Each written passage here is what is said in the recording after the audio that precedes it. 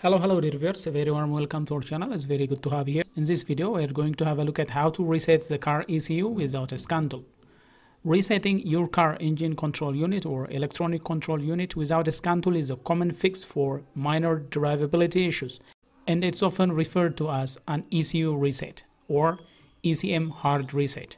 It is a simple process that clears the ECU's adaptive memory. This procedure is intended for educational purposes. While generally safe for most modern vehicles, performing an ECU reset will also clear learned values for your transmission and other modules. Your car may run a little differently, for example, it might idle a little high or shift roughly for a short period. It could be about 5 to 20 miles as it relearns your driving habits. So, always consult your vehicle's owner manual for a specific instruction or warning before proceeding to ECU reset. Let's have a look at some of the most effective and universal method of ECU reset. Well, the most effective and the universal method is the battery disconnect method. This is the most effective one. This method works by removing all power from the ECU, forcing it to clear its volatile memory Let's see how to proceed. First, you have to have a proper range for removing or disconnecting the battery and it's a good idea to wear a pair of gloves as well. Now, park your car on a level surface, put it in park and you can also put it in first gear for a manual transmission vehicle. Engage the parking brake and turn the ignition completely off. Then remove the key from the cylinder. Now, go ahead and locate the battery. Open the hood and locate the 12 volt battery that is supplying electrical electrical energy to the entire vehicle. Now, identify the negative battery terminal. Then, once you identify the negative battery terminal, the negative battery terminal is the one with a minus sign and it may have a black cable. Whereas the positive terminal is red and has a plus sign. So you must disconnect the negative terminal only. Then proceed to disconnect the negative cable. Use the correct size wrench Loosen the nut or bolt that clamps the negative terminal connector onto the battery post. Once loose, carefully twist and pull the connector off the battery post. Then the crucial step comes. Secure the disconnected cable away from the battery terminal.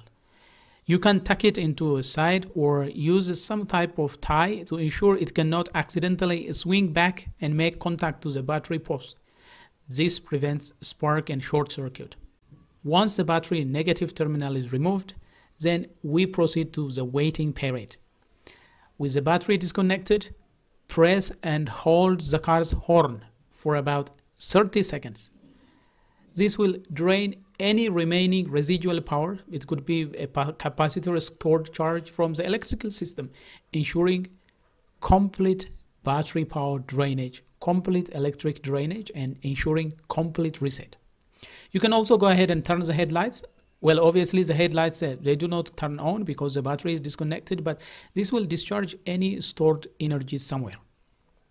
For a more thorough reset, leave the battery disconnected for at least 30 minutes. 15 to 30 minutes will be fine.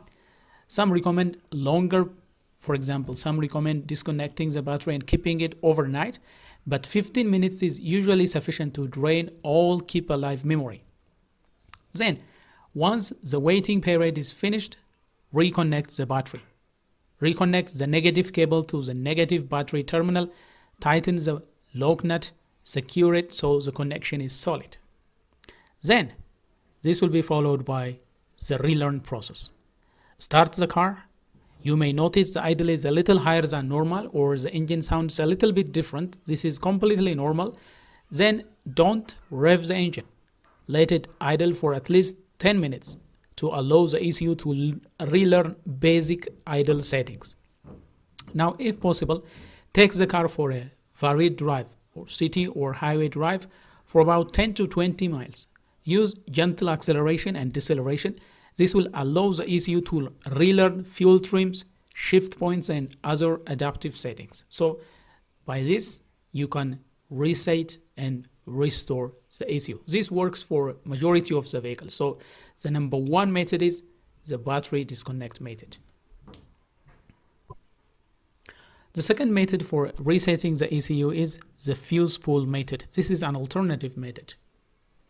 Now, If disconnecting the battery is not convenient, you can sometimes achieve the same result by removing the ECU fuse.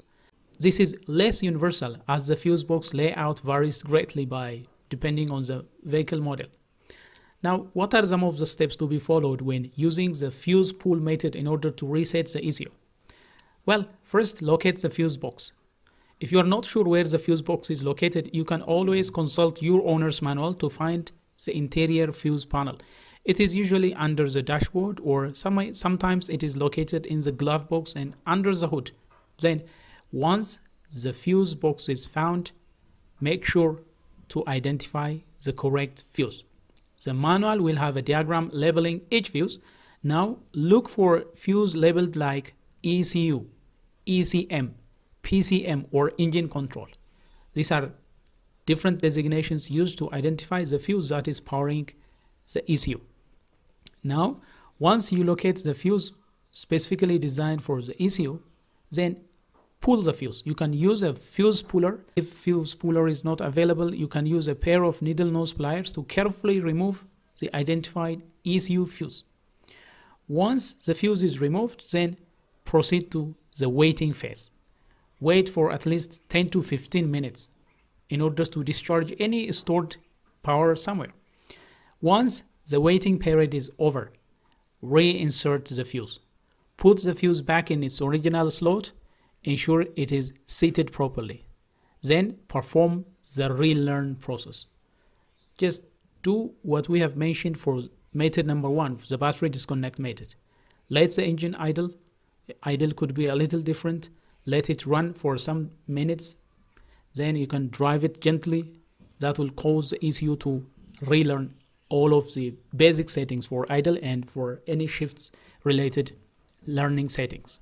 Now let's proceed to see what an ECU reset can fix and what ECU reset cannot fix. Now ECU reset might help with issues caused by corrupted adaptive memory, such as rough idle for example, high idle after a repair or a battery change.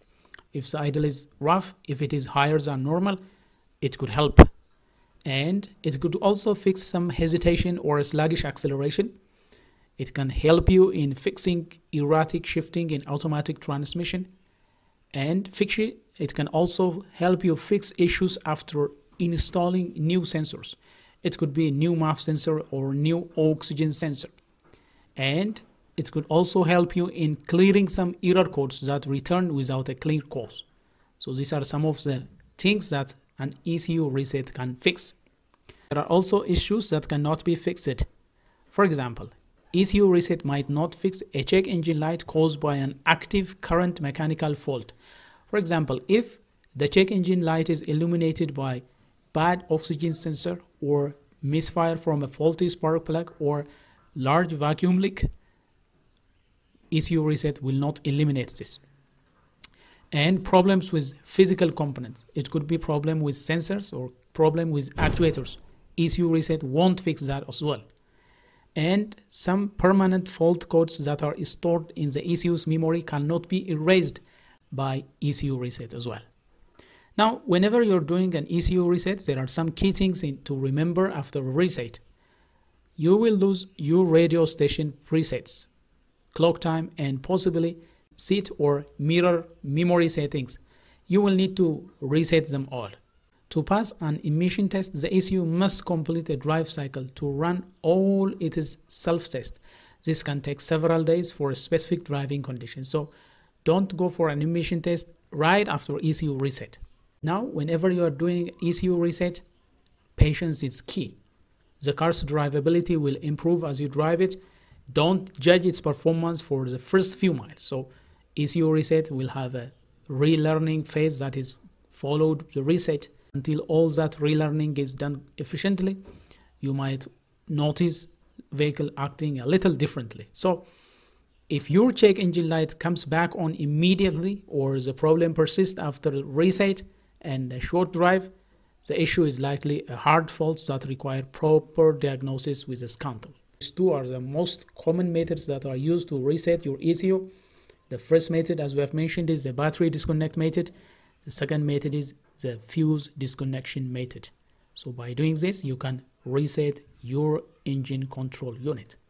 Well dear viewers that is all we have for you regarding some of the things that you can do in order to reset your car's ECU if you find this video helpful and if you like what has been presented please smash the like button.